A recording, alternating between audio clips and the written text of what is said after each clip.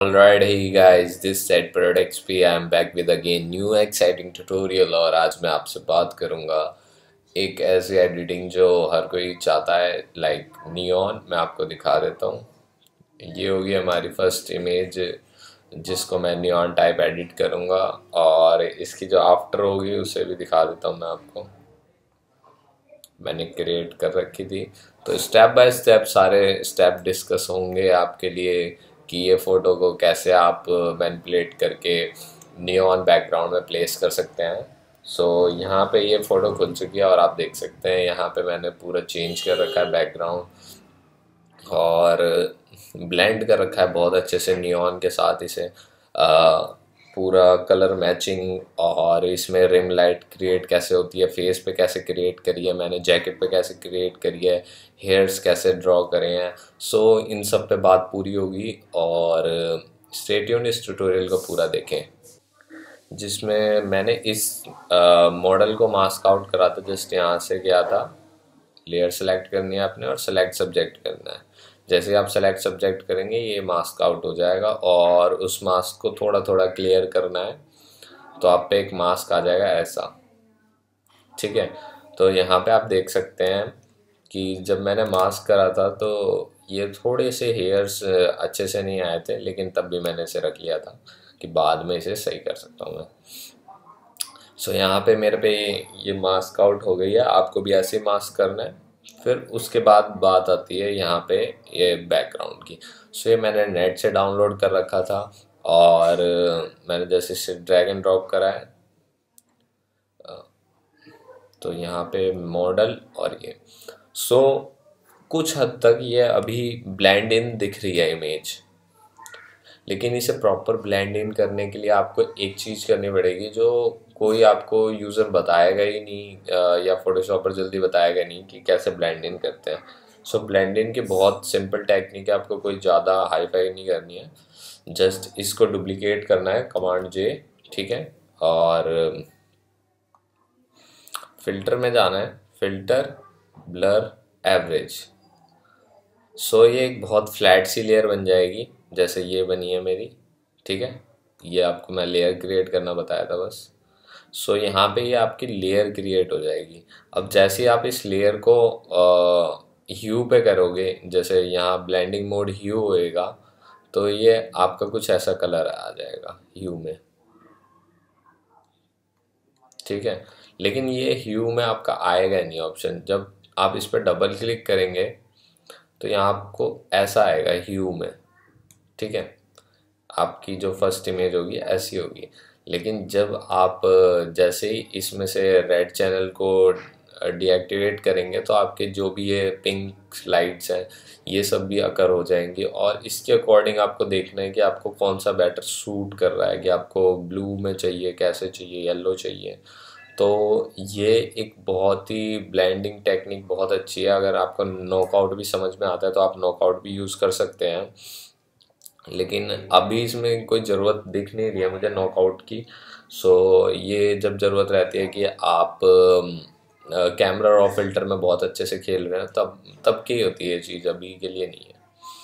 सो आपको यहाँ channel red करना है बंद ठीक है? और जस्ट ओपेसिटी को थोड़ा सा लो करें या फुल करें वो आप पे डिपेंड करता है कि आपको कितनी ब्लेंडिंग अच्छे से चाहिए। सो so, यहाँ देख सकते हैं पहले ब्लेंडिंग नहीं थी अब ब्लेंडिंग बढ़ती जा रही है और अच्छे से हो गई है। सो so, यहाँ पे सेवेंटी फाइव इसकी सही थी ठीक है?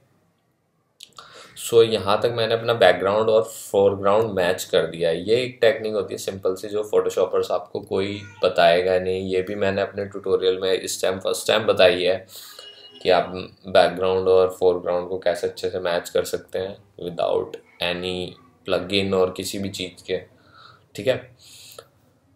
अब अब बात आती है कि आपको रिम लाइट क्रिएट करनी है। रिम लाइट क्रिएट करना सिंपल है, जैसे मैंने यहाँ कर रखा है। रिम लाइटनिंग के लिए आपको बस माउस लेना है और कोई एक लाइट कलर लेना है। जैसे आपने ये कलर ले रखा है, मैं आपको पेंटिंग का तरीका नहीं बताऊँगा लेकिन आपको चीज़ बताऊँगा। ये जैसे सबसे ब्राइटेस्ट पार्ट इसमें वाइट है।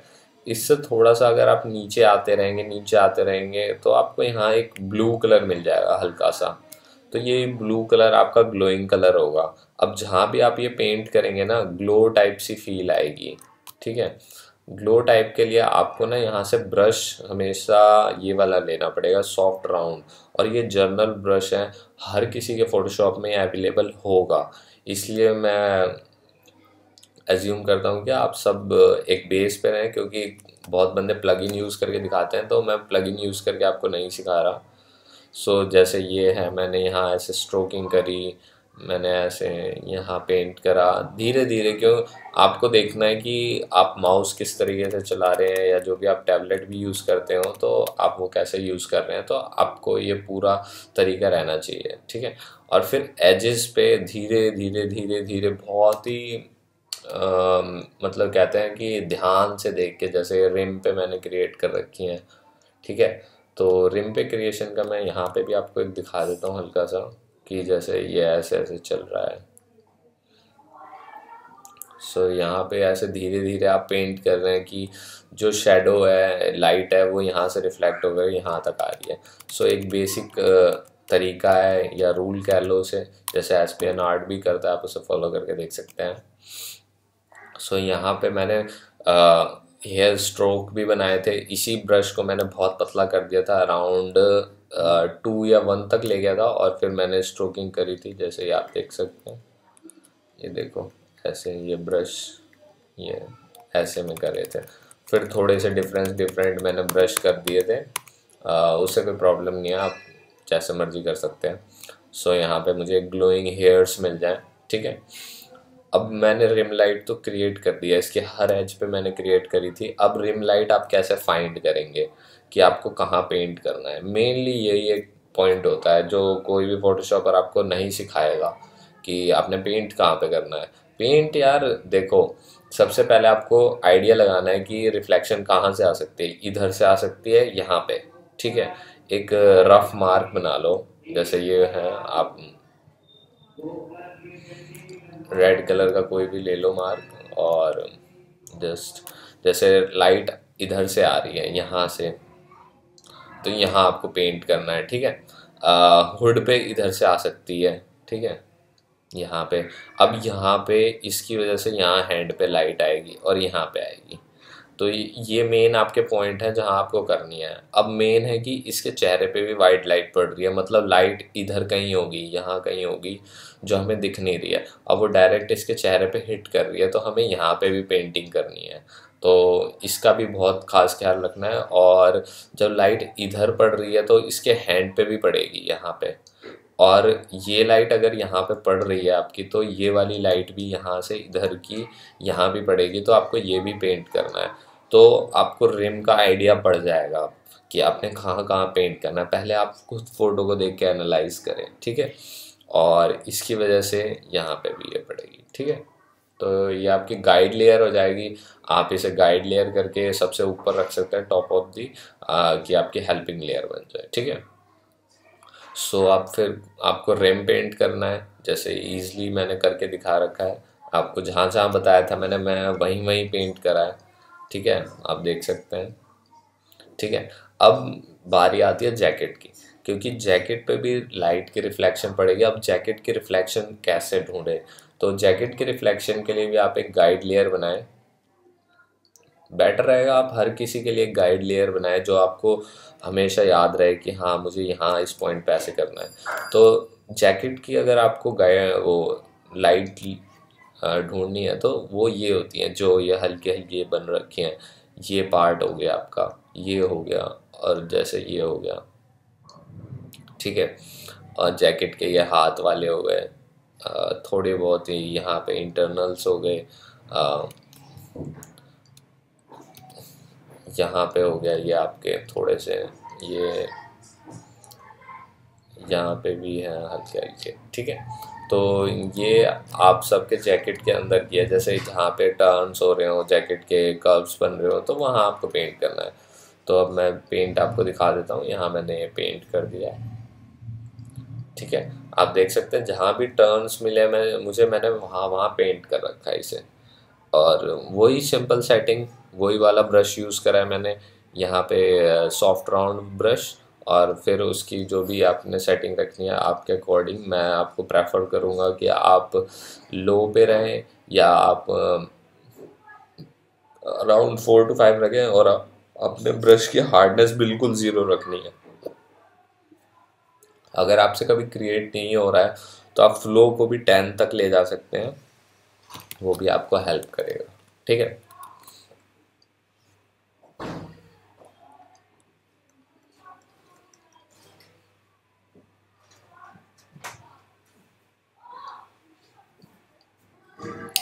सो so, यहाँ पे जैकेट की आपने रिम लाइट अभी क्रिएट कर ली है ठीक है? और जस्ट अब फेस पे वर्क करना है हमने कि फेस पे कहाँ पे लाइटनिंग आए ठीक है? तो फेस की मैं बात करूँ अगर आपसे तो फेस का बहुत मेन रोल होता है कि आपको पता होना चाहिए आप कहाँ पेंट कर रहे हैं। ठीक है? तो फेस कि ये लाइटनिंग नोज़ पे हमेशा रहती है नोज़ के कॉर्नर्स पे रहती है। लेकिन आपको डिसाइड करना है कि आपकी लाइट किस साइड से पड़ रही है। या तो आप डिसाइड करो कि आपकी लाइट इधर से पड़ रही है, या तो डिसाइड करो इधर से। तो मैं इसमें लेफ़्ट केस में गया था लेफ़्ट साइड से मैंने डिसाइड करी थी कि मेरी लेफ़्ट साइड से लाइट जाएगी। तो मेरे को ये नोज़ पेंट करनी है लिप्स के ये साइड पेंट करनी है और यहाँ पे पेंट करना है और यहाँ पे। चीक चीक पे हल्का सा। सो so, ये एक लाइन क्रिएट करेगी और एक डायमेंशन देगी मेरी फ़ोटो को। और यहाँ पे थोड़ा आईज़ के पास और यहाँ पे। और ये एक नेक की लाइन पे भी मुझे पेंट करना है जो बहुत ही इम्पोर्टेंट होती है। ठीक है?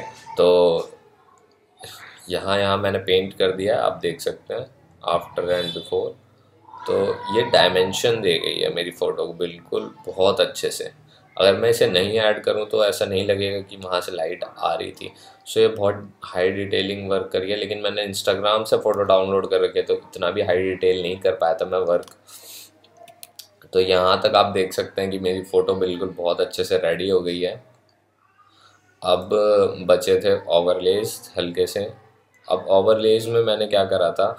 ओवरलेज का नाम मैंने ऐसे नहीं रखा था कि ये कुछ ब्लेंडिंग मोड है नॉर्मल ब्लेंडिंग मोड है। जस्ट मैंने ओवर इसलिए करा था कि मैंने थोड़ा सा ब्रश हाई लिया था, चौड़ा ब्रश और उसका फ्लो बिल्कुल वन परसेंट पे रखा था। और यहाँ से आपको चुनना है एक बिल्कुल सॉफ्ट राउंड प्रेशर ब्रश ये वाला। सारे आपके बाय डिफ़ॉल्ट ब्रश से ही होंगे सेटिंग और कोई अलग आपको ब्रश की नीड नहीं होगी।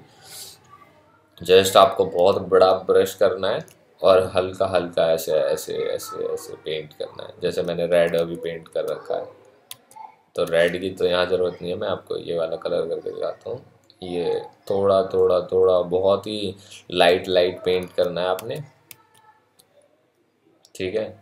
जैसे आप हल्का हल्का लाइट लाइट पेंट करेंगे साइज़ को चेंज करके कि आपने ये वाला साइज़ रखा है, वो वाला रखा है तो आपको अपने आप समझ में आता रहेगा। जैसे ये थोड़ा थोड़ा पेंट करा, यहाँ पे हल्का ये एनहेंस करें, हल्का सा यहाँ पे कर दिया, ऐसे करा तो ये होती हैं आपके ओवरलेज जिससे आप जैकेट को ब्लेंड कर रहे हो कि इस पर लाइट हिट कर रही है सच में। अगर मैं ये हटा दूँगा तो यहाँ कोई लाइट हिट ही नहीं कर रही है तो ये ग्लो कर ही नहीं सकती इतनी जैकेट तो लाइट हिटिंग का बहुत ही मेन रोल होता है इसमें जब आप ओवरलेस करते हैं। और ये आपकी सेम कलर यही रहेगा जो आपने एज पे करा हुआ है। ठीक है? अब मेन बात करते हैं सेकेंड ओवरले की। इस पर भी मैंने करा था, जो मैंने फेस पे डाला था। तो फेस पे भी मैंने हल्का सा ओवरले करा था, ठीक है? लेकिन जब ओवरले मैंने कर दिया, क्योंकि यहाँ ग्लो मेनली दिख रहा है, क्योंकि यार ये फेस है फेस के फेस पे नहीं ग्लो आएगा तो कहाँ आएगा? सो so, उसके बाद फिर मैंने यहाँ से अंदर गया था और अंडरलाइन लेयर को करा था। अब आप देख सकते हैं डिफरेंस कितना आ गया है। पहले ऐसा था अगर मैं इसको अंडरलाइन लेयर को चेंज करता हूँ यहाँ तक ऑल्ट दबा के तो ये कितना ड्रास्टिक और अच्छा चेंज दिया था और मैंने थोड़ा सा ओपेसिटी भी कम करा था क्योंकि ज़्यादा लग रही थी मुझे वो। तो ओपेसिटी भी कम करी थी कि जितना मुझे नीडेड है वही बेटर है ठीक है? अब यहाँ पे ये फ़ोटो अच्छे से कंप्लीट हो गई है और सारी चीज़ें अच्छी लग रही हैं मुझे इसमें। हर लाइट को मैंने अच्छे से बनाया है। शायद आपको अच्छा ना लगता हो, लेकिन मुझे बहुत अच्छा लग रहा है अपने पॉइंट ऑफ़ व्यू से। अब इसके बाद मैंने इस पर वर्क करा था हल्का सा स्नो डालने का कि, क्योंकि मेरे को थोड़ा स्नो टाइप का लुक पसंद है तो यहाँ मैंने एक स्नो का ओवरले डाला था जस्ट अगर आपको ये चाहिए हो तो ज़रूर कमेंट डाउन कर देना ये मैं आपको दे दूँगा। और जस्ट यहाँ पे ये फ़ोटो मेरी रेडी हो गई है और मैंने एक टेक्स्ट भी डाला था इसमें ग्लोइंग टेक्स्ट के लिए। सो ये टेक्स्ट डाला था मैंने पीछे। आ, नेम था जो मॉडल है। और इसमें भी मैंने ग्लो डाला है थोड़ा सा। तो ग्लो की सेटिंग आप देख सकते हैं ये है। और आउटर ग्लो की ये सेटिंग है। ठीक है? सो थैंक यू फ्रेंड्स यहाँ तक आपने मेरे ट्यूटोरियल को देखा और प्लीज़ इस चैनल को ज़रूर लाइक एंड सब्सक्राइब करें और किसी को अगर न्यू ऑन एडिटिंग टाइप सीखनी हो तो प्लीज़ इस वीडियो को ज़रूर शेयर करें क्योंकि इसके ट्यूटोरियल हैं बहुत लेस इंटरनेट पे और हिंदी में तो शायद ही हों किसी के। हिंदी में तो होंगे ही नहीं किसी भी बंदे के ट्यूटोरियल सो आप महँगे महँगे ट्यूटोरियल्स को ना पैसे दे के आप यहाँ से सीख सकते हैं। So thank you guys